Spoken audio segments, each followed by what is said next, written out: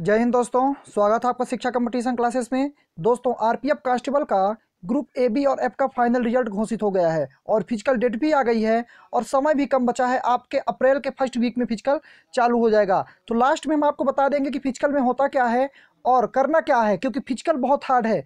पचास में से मात्र दो बच्चे पास होते हैं फ़िज़िकल में, इस बात को ध्यान में रखना है। और खुशखबरी सबसे बड़ी ये है कि ग्रुप ई जैसे नहीं हुआ है कि छः गुना कैंडिडेट पास हों। हमने आपको पहले भी बताया था कि दस गुना कैंडिडेट फ़िज़िकल के लिए बुलाया जाएगा तो लगभग ग्यारह गुना तीनों ग्रुप में कैंडिडेट पास हैं। तो आपको एक एक चीज़ बता देते हैं कितने पोस्ट थी और कितने कैंडिडेट पास है। आपको सब कुछ ऑफिशियल दिखा देते हैं और एक चीज़ आपको हम ये बताना चाहेंगे कि हमने आपको जो कटाप बताया था, बिल्कुल वही कटाप गई है, चाहे मेल कैंडिडेट की हो, चाहे फीमेल कैंडिडेट की हो।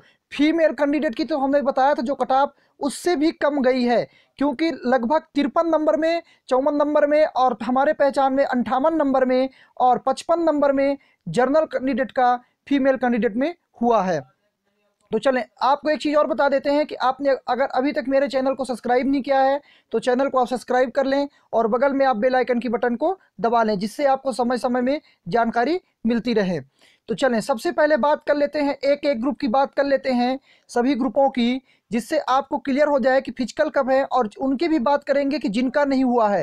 क्योंकि आपको बता दें कि आरपीएफ, एसआई में ग्रुप ई की सेकंड लिस्ट आ चुकी है। तो हार ना माने, जिनका कटाप के बहुत सटीक नंबर रहे एक दो नंबर कम है, उनका सेकंड लिस्ट में नाम आएगा। तो सबसे पहले कटाप की बात करने के लिए हम सबसे पहले बात करेंगे टोटल वैकेंसी की, क्योंकि टोटल वैकेंसी जब आपको पता रहेगा, तभी तो आपको क्लियर होगा कि कितने कैंडिडेट पास हैं तो कितने गुना है। तो आप देख सकते हैं, अगर टोटल पोस्ट की बात करें ए ग्रुप की हम बात करेंगे बी ग्रुप की बात करेंगे और ई e ग्रुप की बात करेंगे तो आप देख लीजिएगा टोटल मेल की टोटल देखिए 804 पोस्ट है और फीमेल की टोटल 927 पोस्ट है ए ग्रुप में। और बी ग्रुप में देखिए मेल में 440 और फीमेल में 712 पोस्ट है और एफ़ ग्रुप में मेल कैंडिडेट के लिए ही बस सीट थी फीमेल कैंडिडेट के लिए कोई सीट नहीं थी और छः पोस्ट है। तो चले, एक एक ग्रुप का आप देख लीजिए।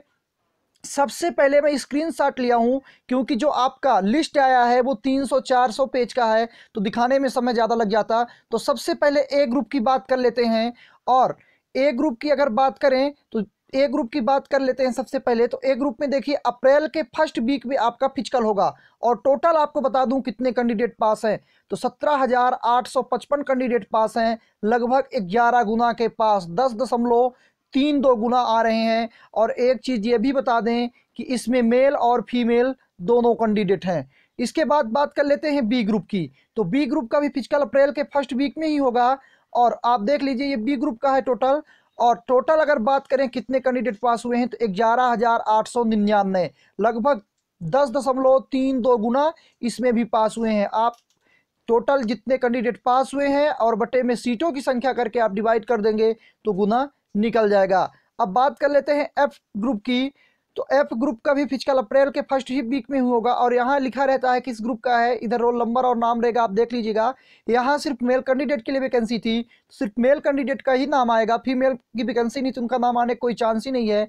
तो इसमें देख लीजिए टोटल कितने पास हैं। तो सड़सठ सौ उनसठ टोटल पास हैं, लगभग यहाँ दस दशमलव चार दो गुना पास हैं। मतलब कह सकते हैं आप कि ई ग्रुप जैसे नहीं हुआ है और अच्छा हुआ है, ग्यारह गुना कैंडिडेट पास हैं, लगभग तीनों ग्रुप में अब एक चीज़ आपको ये बताना चाहता हूँ, जो कटाप के पास हैं, वो फ़िज़िकल की तैयारी अभी से शुरू कर दें, क्योंकि सेकंड लिस्ट आएगी, सौ परसेंट गारंटी के साथ मैं ये कह सकता हूँ। तो चलें, अब जिनका हुआ है, उनके लिए फ़िज़िकल के लिए बात कर लेता हूँ, कि इनके फ़िज़िकल में क्या क्या होगा, क्योंकि फ़िज़िकल आरपीएफ का इतना आसान नहीं है, जितना आसान सब सोचते हैं, जितना आपको पेपर निकालना कठिन था उससे कहीं ज़्यादा फ़िज़िकल कठिन है। तो इधर आप बात करेंगे तो कांस्टेबल पुरुष की और महिला दोनों की बात करेंगे और आपको बता दें तीन फ़िज़िकल है इसमें। दौड़ होगी आपकी, लंबी कूद होगी आपकी और ऊँची कूद होगी आपको। और तीनों फ़िज़िकल में आपको पास होना बहुत ज़रूरी रहेगा। तो सबसे पहले पुरुष की बात कर लें तो 1600 मीटर की इनकी इनको दौड़ 1600 मीटर की दौड़ उनको पाँच मिनट पैंतालीस सेकंड में दौड़ना है।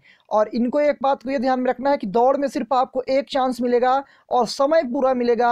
आर्मी जैसे ऐसा नहीं है कि आपको समय नहीं मिला, नहीं मिलेगा। तो पाँच मिनट पैंतालीस सेकंड में आपको सोलह सौ मीटर दौड़ना है।